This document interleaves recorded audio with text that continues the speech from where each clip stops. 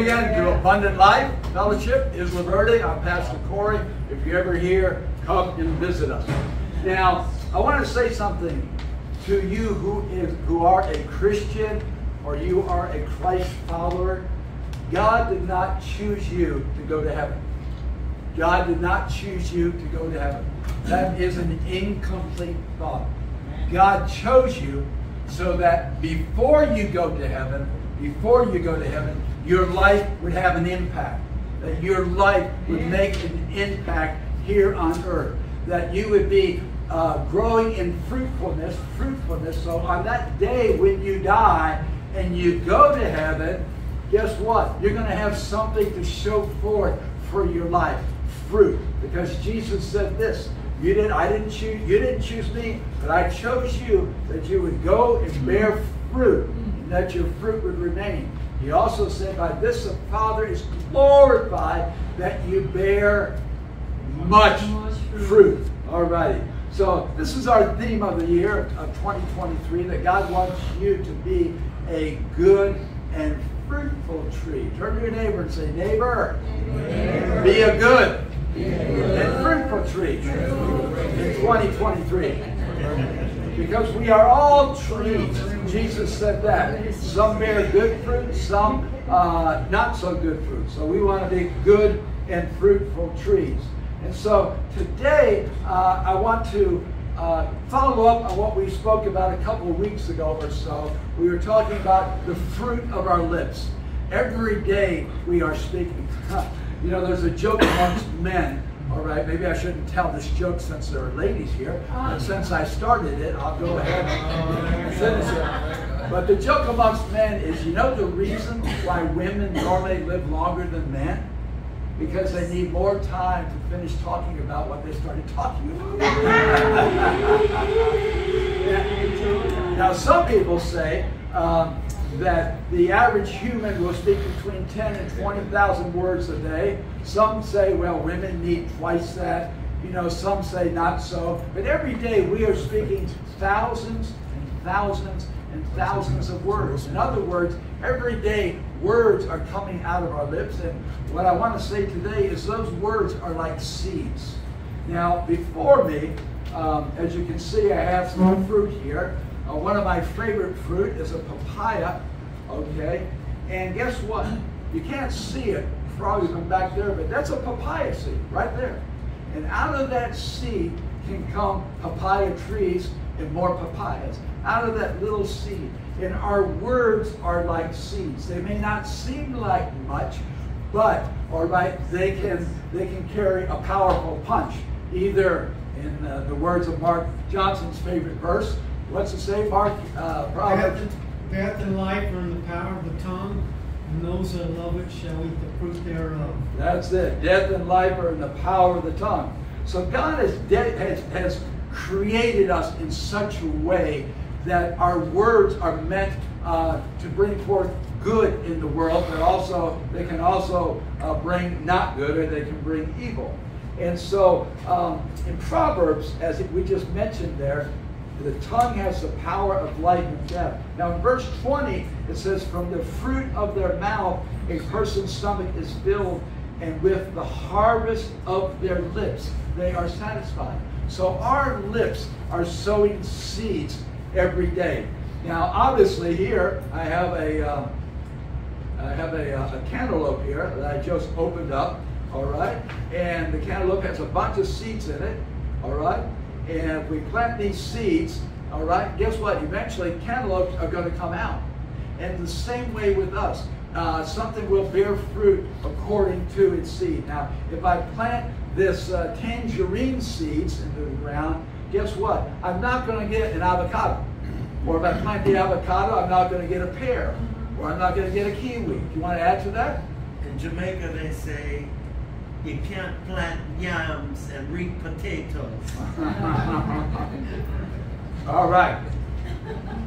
So the thing is, um, speaking of death and life, we have we have the ability to speak seeds, to speak words every day that can bring forth good words. But on the other hand, we have weeds up here. You know, and so our words can also be like weeds that we can bring forth uh, more weeds and not not good fruit. Now, think about it. Every day you're speaking at least ten thousand words. Now, some of those words are just check it out on the internet. All right, it's from seven to twenty thousand. I did some research on it. Uh, maybe some of you who are so wise that you only speak maybe 10 words, or maybe if you're so wise that when you text, it's a bonanza if you text three words back. some of you know who I'm talking about. but anyway, uh, the words we speak, some of them maybe about the weather or this or that, but some words um, are, for example, uh, one time we had a worker in our, in our house, and uh, he was um, nobody here. Relax, okay? And so um, early on, he, I heard him say, "Ay Dios mío, ay Dios mío," not as a blessing, okay, but as a complaint. And all through the day, he was complaining about this, complaining about this, you know, and it's just like he had a, a, a thunder cloud over his head, you know. And make a long story short, at the end of the day, we parted ways all right? Because I didn't want, and actually later in the day I said with Carmen, Carmen, we need to clear the atmosphere because there's just been cursing and murmuring and complaining in our household the whole day, and we just had to clear the air because our words are like seeds and they can germinate. And so obviously we want to be planting uh, the right seeds. Turn to your neighbor and say, neighbor, neighbor. your words are seeds. Words are seeds. Make them good ones. Again, to another neighbor. Neighbor, neighbor. your words are seeds. Make them good ones. Good ones. All righty. Now, there's an, I, I love where Scripture um, comments on Scripture. It's a beautiful thing. Uh, and, and, and in Psalm 16, uh, he says, I set the Lord always before me. Listen, this is the best way to live. Always keep the Lord always before you. That is the best way to live. In every situation, Lord, I want you there in first place. You in place of preeminence. And then he goes on there and he says, Because the Lord is at my right hand, I will not be moved. Listen, some of you, some of us sometimes we get we get flaky. We go here, we go there, we get inconsistent. And the reason that happens is we take our eyes off the Lord. But we keep our eyes on the Lord, guess what? We'll be able to be water walkers. We won't sink and yeah. all that. Thankfully, when we sink, we say, Lord have mercy, He's there to pick us up. But God's perfect will is not fall, get up, fall, get up, fall, get up. No, He wants us to learn how to stand and walk, yeah. rooted, rooted in God. So he goes on to say, um, Therefore, my heart is glad and my glory rejoices. My glory rejoices. What does he mean by that? My glory rejoices. Well, wonderfully, on the day of Pentecost, Peter is, is uh, quoting some scriptures, and one of the scriptures he quotes is Psalm 16.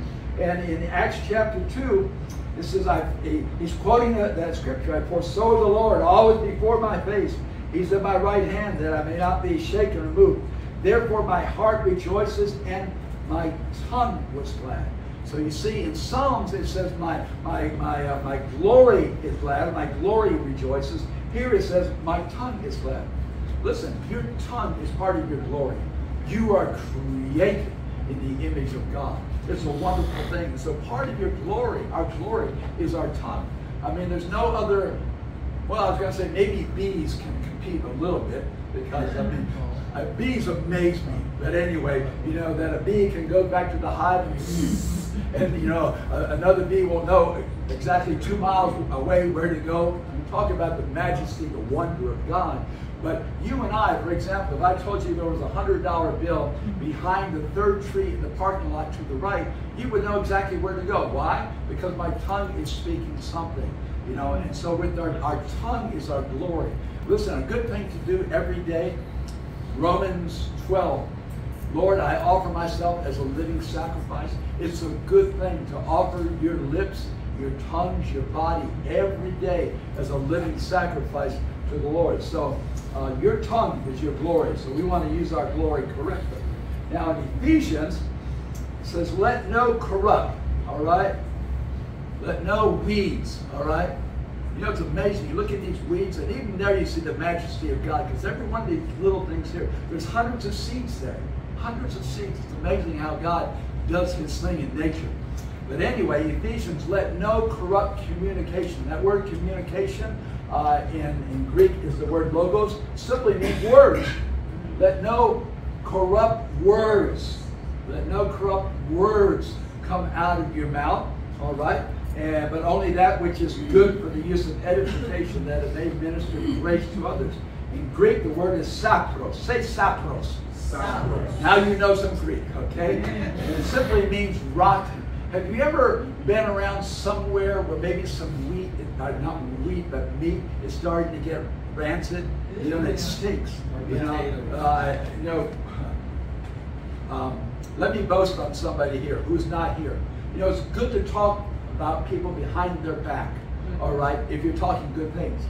Okay, but John's friend Teddy, uh, when we were in our apartment building, one guy was. Uh, uh, coming in or whatever, but the electricity had gone off and we didn't know. And there was a refrigerator that had meat in it and the electricity was off for maybe a week or two weeks.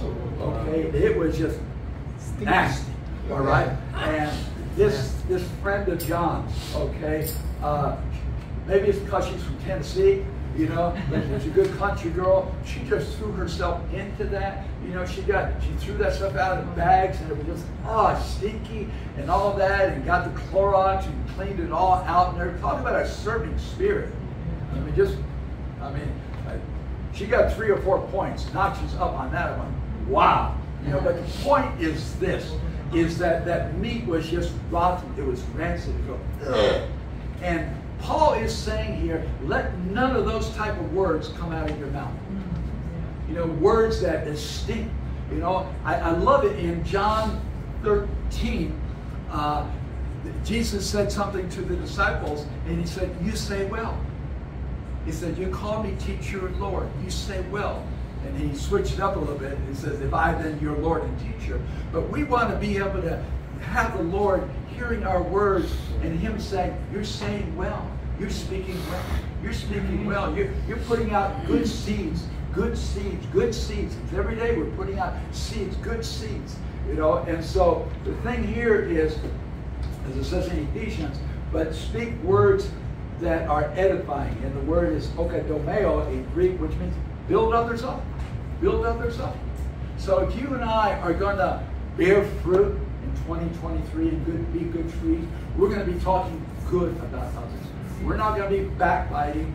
We're not going to be fault finding. We're not going to be, and you know, sadly, not a lot, but sadly, my Christian experience uh, of over 50 years now, sometimes people use prayer to gossip about other people.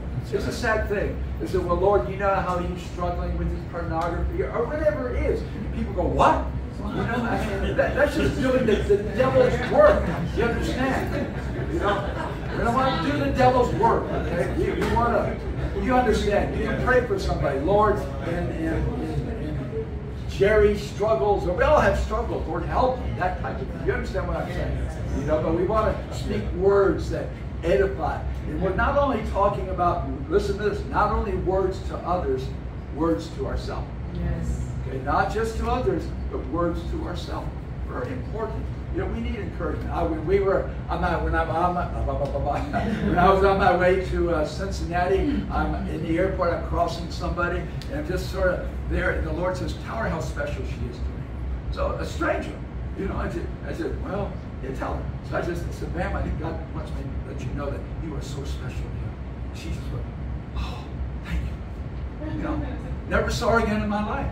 You understand? But God wants you and I to be putting forth seeds of life, words of life, words of life. Proverbs, it's not in your notes, Proverbs 10 11. The mouth of a righteous person is a well of life, is a well of life, is a well of life. When you speak those words to others, you also speak them to yourself.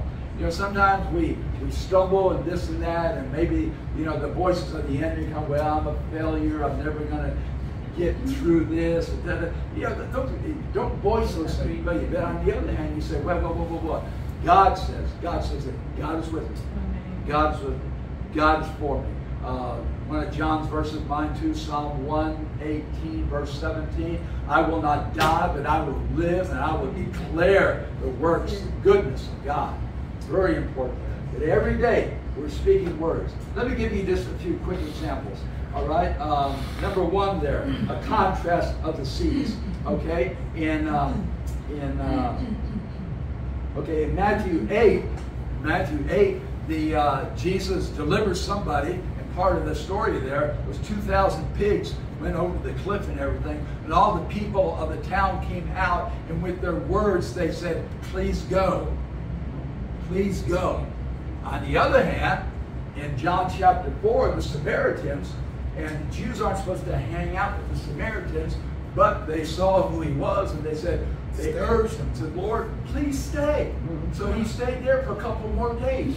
I tell you, a good thing to do, good words. Don't say to God, ah, no, don't touch that area of my life. No, Lord, every area of my life, I need you. I need you. Every room, every nook, nook, cranny, thought, every area. Please come, Jesus, and be Lord of my life. Reign in me, Lord. Have your way in me. You see, these are good words to, to, to talk to God. They really are. Now, has anybody here absolutely arrived in your Christian life?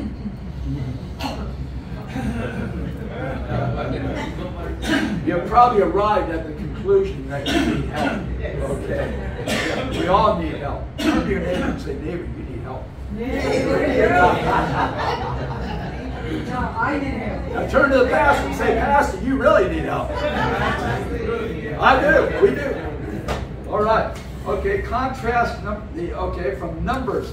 Okay. Uh, the spies go into the promised land, and what was the seed coming out of their mouth? That they poisoned a whole population, 20 and up. It says, no, we, we can't go in there. We're like grasshoppers. We can't do it. We can't do it. They're poisoning a whole population of Jews, and, it entered their ears, and sadly, they didn't go into the promised land because of those words of doubt, unbelief went into those ears. Thankfully, uh, Joshua and Caleb said, Whoa, no, we can go into the land. You see, the, the power of words the power of words. You know, I know we've talked about this before, but I just, you know, God wants you to be very fruitful this year.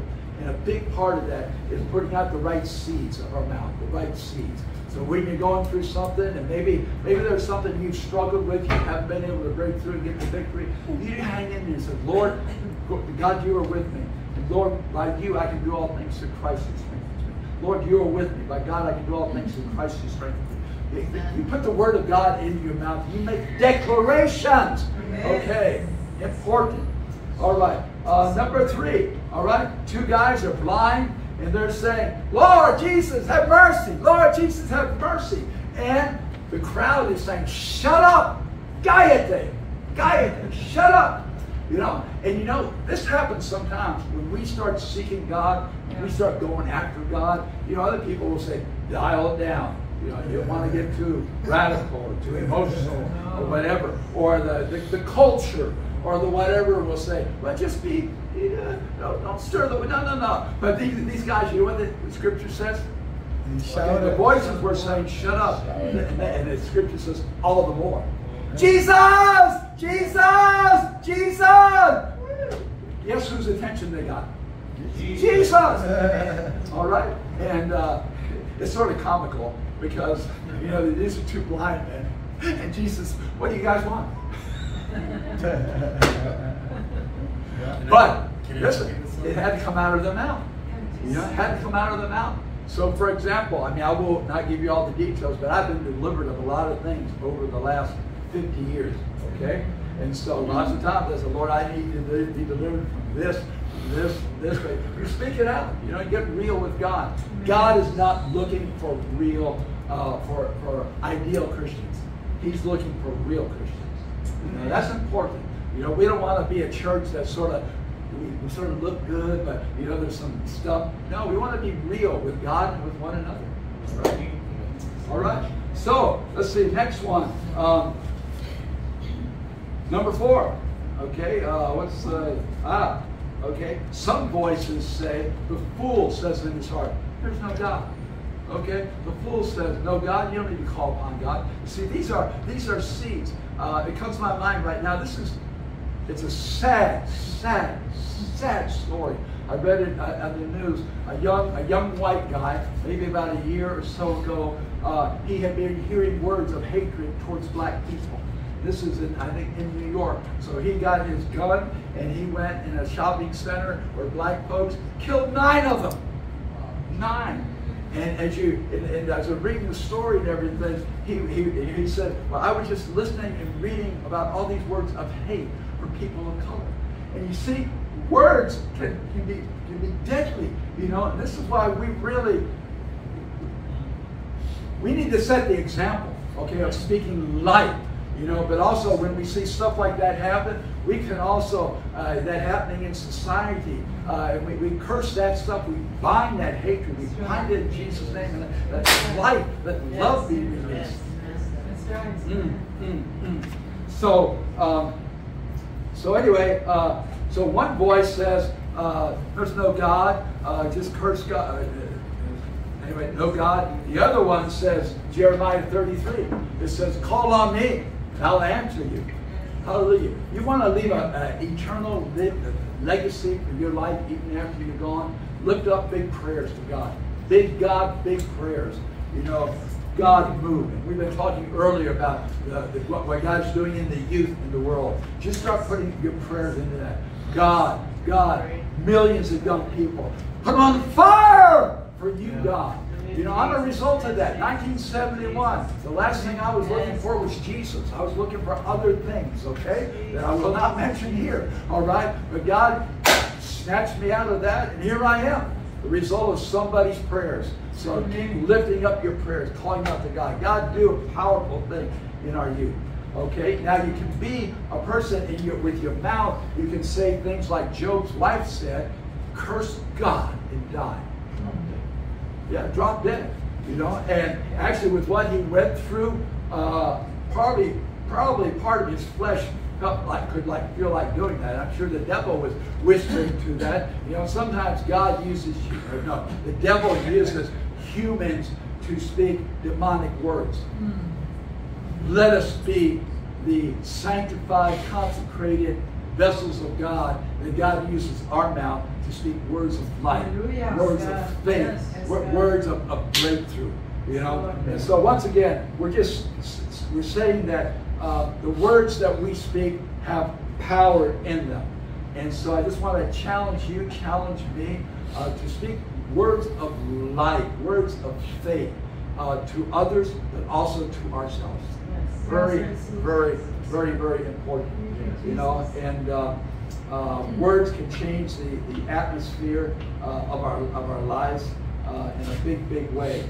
Um, and, it, and the words can change the atmosphere of a home. Words can change the atmosphere of a church, change the atmosphere. Just like earlier when Symphony I, yeah, and sometimes I forget what your given name is. I, I, it's, it's, it's Cynthia. Cynthia. Yeah, yeah but, you know, she's symphony because she has a song in her heart. But you know, she had some words of encouragement for Dr. Enrique, and then another word of encouragement came and came. And see that, that I would say the atmosphere even lifted up, even got brighter after that. You know, so God wants us to be those who will, will bright up wherever your workplace is or your neighborhood is Speak life. You know, let people know that God, God loves them, cares for them. You know, that type of thing. And so um, there's a great, great, great prayer at the end of Psalm 19. A one sentence prayer. Let the words of my mouth, repeat after me, let the words of my mouth and the meditation of my heart be acceptable in your sight, O Lord. My strength and my redeemer what, that is a great prayer to have in your vocabulary. It really is. So, so uh, let's see here. Uh, once again, tell your neighbor, neighbor. Neighbor. neighbor. Your words are seeds. Words are seeds. Make them good ones. good ones. And so, those of you listening in from wherever you are in the world, we bless you in the name of the Lord. If you ever come to Puerto Rico, come with us at Abundant Life uh, or Abundant Life by the Sea uh, .com. We love you guys. We bless you in the name of the Lord.